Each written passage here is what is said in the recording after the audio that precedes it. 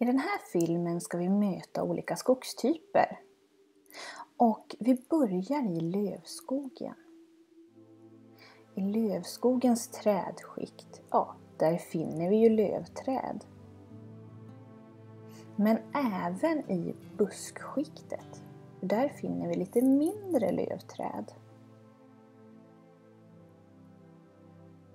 Om vi närmar oss marken och tittar på fältskiktet så hittar vi små lövträd och även olika sorters gräs.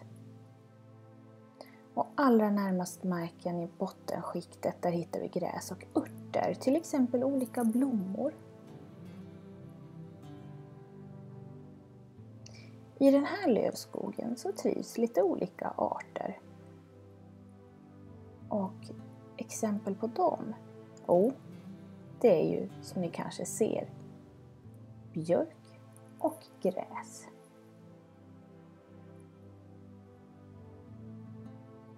Vi flyttar till Tallheden och kikar lite hur den ser ut. Ja, tittar vi i trädskiktet, ja då hittar vi tallar. Och i buskskiktet, ja som ni ser, så finns det ingenting.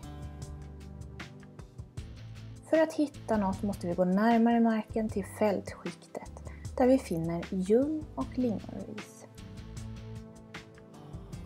Allra närmast marken i bottenskiktet, jo, där hittar vi olika lavar.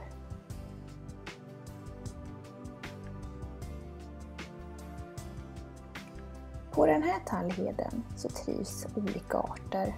Ja, exempel på dem, ja, det är ju just tall och lingon.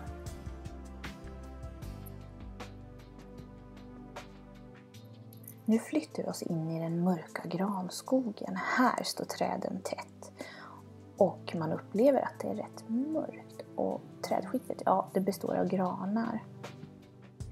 I buskskiktet så kan man hitta mindre granar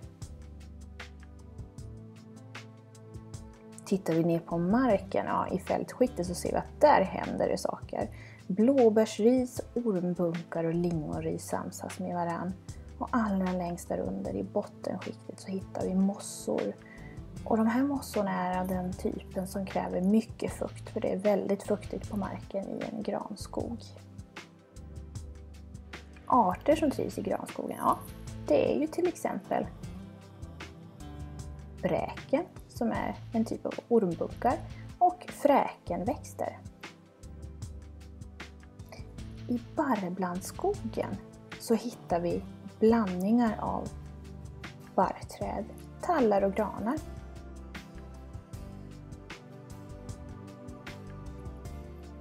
I buskskiktet så hittar vi mindre tallar och mindre granar och faktiskt en och annan björk som ju är ett lövträd.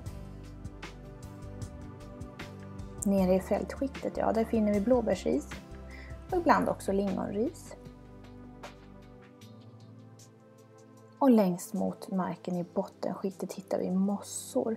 Och de här mossorna kräver inte lika fuktig mark som de som finns i granskogen. Arter som trivs här, ja det är till exempel blåbär, gran och lingon.